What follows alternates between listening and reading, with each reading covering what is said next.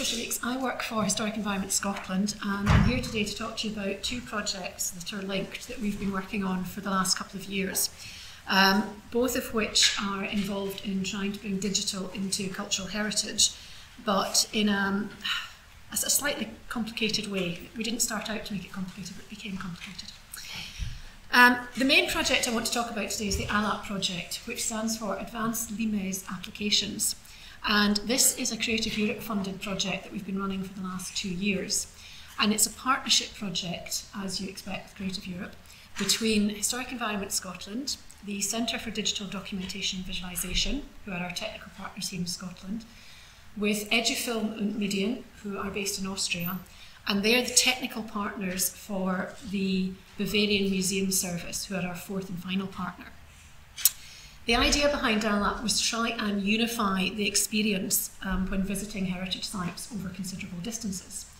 For those of you, oops, if I can find the map, come back, come back, come back. For those of you that don't know, uh, this is the frontier of the Roman Empire, and it stretches all the way from the Antonine Wall here in Scotland down to um, Serbia and Croatia. It also goes into North Africa, but that section is not part of the FRE at the moment. The Antonine Wall is in the other map you can see on the far side. It stretches all the way from Glasgow through to Falkirk on the east coast.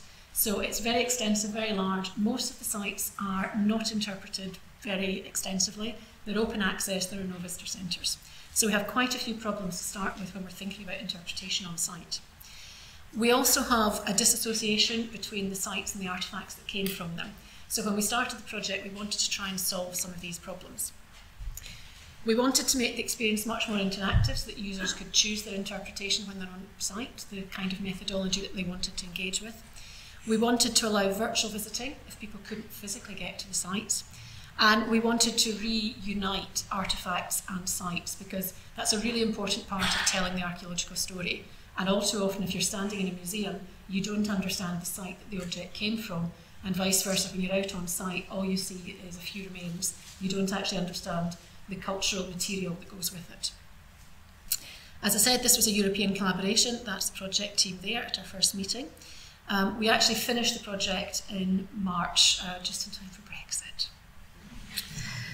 So we started off consulting widely with users and we spoke to schools, we went out um, to various museums, we've talked to people on site through um, audience surveys.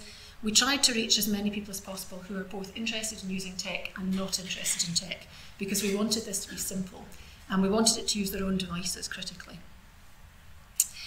The app that we started with, the platform, had already been developed by Edufilm und Medien um, with funding from the Bavarian Savings Bank for the German Museum Service.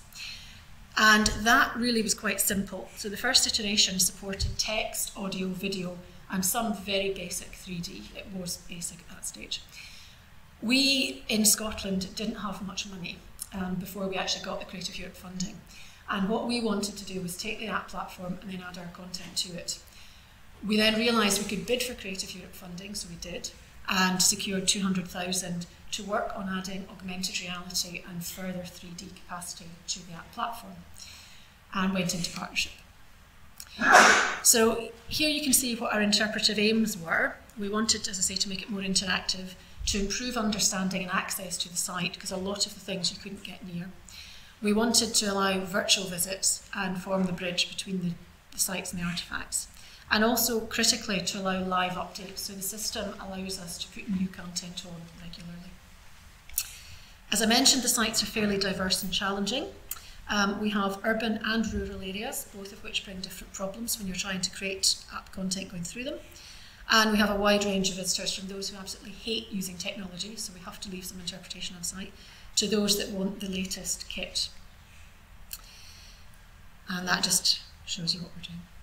We also wanted to develop some narratives, and the critical thing when developing the app content was about making it unique across all the different sites.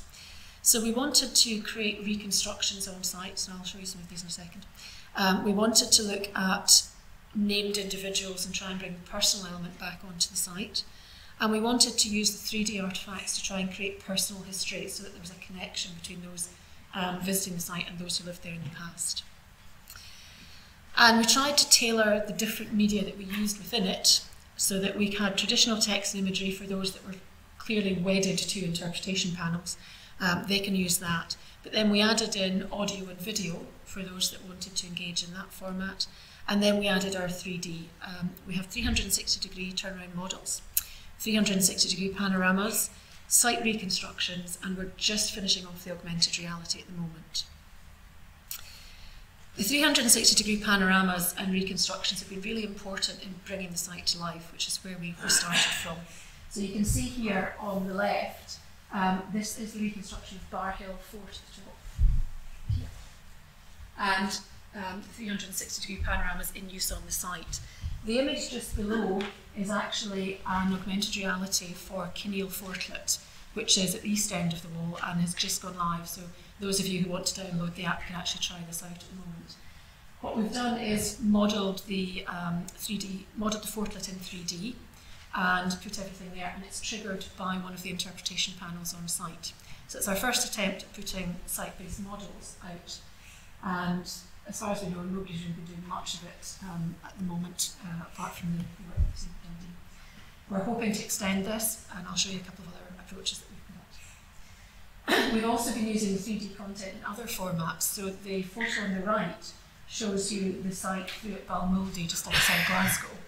Now, you can play guess the site if you want. Um, in this top picture, it's actually just where the farm building is in the centre. So there's nothing there. Um, and when Glasgow um, museums were looking at how they could interpret the site, they had nothing. So we reconstructed the site in the 3D model that you can see here. We had to be quite careful about picking a point in time, so we've not actually gone with models that change for the development history of the site. We've just picked the point that um, the museum service want to interpret, so it's, it's not a changing model. Um, and we've showed that's why if you look at the bathhouse here, it's a point frozen in time. The bathhouse did change over time, but we haven't changed it. And the critical thing is using it for an interpretive tool. So additional layers can be added through the use of the 3D modelling. And we can engage differently with visitors. So you see here the interpretation panel um, that triggers the, the, model for Kinneil Fortlet that you can actually use on site. This is actually in Eric's um, house. It's, it's, not on site as you can see, um, because when we started taking these slides we weren't at that point. But we've also added in artefacts which we've been scanning with the Hunterian and with the National Museum. So this little um, figure here from Bar Hill, we've scanned and you can see here it exists in Sketchfab. Uh, so we've been using everything on the Sketchfab platform as well. But you can also critically use it out on site, so you can explore the model in the point it was found on site. And then we wanted to look at using the human element within the app. So we've done some motion capture work with various models, um, some of whom work for the Antonine Guard, some of whom are models that we've hired in, and undertaken a range of different activities and different uh, captures. And we've then introduced those into the AR elements within the app. So what you see on the, the left here is uh, two different ARs actually using the same action. So the one at the bottom was um, firing arrows, and we've used that within a gaming environment that I'll show you in a second. And the top one is the same actor making an offering at an altar. So we filmed him using um, a model of the real artifact, and then we were able to substitute the real artifacts into the AR. So there's both the altar, which is on display in the Hunterian, and there's also the cup that is in display in one of the cases in the Hunterian that was used to make the offering. And that can be triggered when you're at the Hunterian Gallery using um, the, the display. And then you can see on the right hand side we've got 3D turnaround artifacts. Now they are being used both on site and also in the museum gallery context. So the object, which is the shoe, which is on display, you can see everyone looking at it in the gallery, um, is also shown in the app. And we have the opportunity to play around with it. We've been working as well with Maria Economou, who is the digital manager at the and she has been using these 3D scans for a secondary project called Emotive, which looks at emotional responses to museum visits. So Maria's been, we've looked at it from an interpretive point of view. Maria's been using it from an emotional um, and academic viewpoint. And she's then transported the artifacts into a second app, which gets users to take a journey with two or three characters. So what we're going to do when both projects finish is actually look at how we can integrate both the interpretation and the emotion into a final product. And then we've been trying to repurpose the material that we've been created because obviously having a scan, having a model is fine, but if you only use it for one purpose, it's not really cost effective and it's not particularly useful in the long term, especially as we are publicly funded. So we've been trying to see how far we can use these across different platforms and different spectrums. So the Go Roman game grew out of the scanning and content development for the app project. So we were creating an app for use on site by quite a tightly defined audience. But while the guys, the, the developers, were actually working on it, um, they're all very young and they got a bit carried away and they said, We can develop a game for you. And we said, Okay. And they said, No, it's not going to cost anything. We're doing it in our own time. And we said, Fine, do what you want to do then. And they came up with a really interesting concept, um, which is the complete 3D environment for Bar Hill Fort, which they were modelling anyway for the app. But we then added the motion capture characters into it, or they did, um, I should say. And they came back and said, you, you need a, a premise for this. So what we looked at in consultation with an education consultant was a quest-based approach. So the underpinning work is based on the pure academic, pure research. So we did LiDAR scans to record the landscapes. We created the 3D digital models with archaeological experts. Everything is, is right. As I say, we then did the motion capture, and you can see here um, the, the motion capture for the arrows and then the final product that came out of that with the, the archers there. The spaces were fully reconstructed so that you can walk around the whole fort. We didn't do the interiors of every building because it would collapse the, the tech that we were using. People couldn't download it if it was too large a file. But crucially, we took the real objects and then we merged those into the modelling work that we were doing. So here you can see a window which is on display in the Hunterian. So we modelled that and then we slotted it back in. You can just see it's added into the building there. And we did that on several occasions to try and get the authenticity for each of the, the elements. And then the motion capture populated the spaces, but the artifacts also populated the spaces. So you can see here there are three objects there which we scanned from the Hunterian that we then put back into um, the space. And I mentioned the quest-based approach, so we had to have some kind of functionality and some way of exploring this, this environment, this game. So we worked with an education consultant who came in and created two characters, and those characters have very different roles to reflect the different lifestyles within the fort. So one is a soldier called Julius, and the other is a young slave girl called Verecunda. And you can interact with them to undertake a series of tasks through the fort. And through that, you get into certain buildings, different buildings with different characters, and you get to meet other characters. When we did the evaluation and consultation work, we discovered that some people didn't want to play the game, um, strangely enough, mostly adults. Children love it, they, they want to play it, but the adults just wanted to explore the fort. So we built in a third element um, from the evaluation, which is the, the one with the shoe, where you just walk through the fort and you just explore it in your own time without having to beat the clock or anything. And we've augmented that with a teaching resource pack um, that people can download and they can use. And there's also a handling box of artifacts. So everything that we've scanned, we've also then got artisans to reproduce for handling models. So a school can play the game, um, they can then download the teaching pack and they can handle the original models. We as well suggest that they go to the Hunterian to view the originals.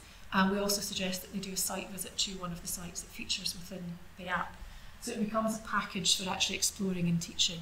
So we've tried to move away from simply having um, an adult-based interpretive app for the site to actually having a suite of resources that use the digital in a sort of multiplicity of different ways. We also have a Sketchfab account, so if you want to go and explore all the models, I suggest you go in there. All the apps are live, you can download them in either Google or iStore, um, and do have a look.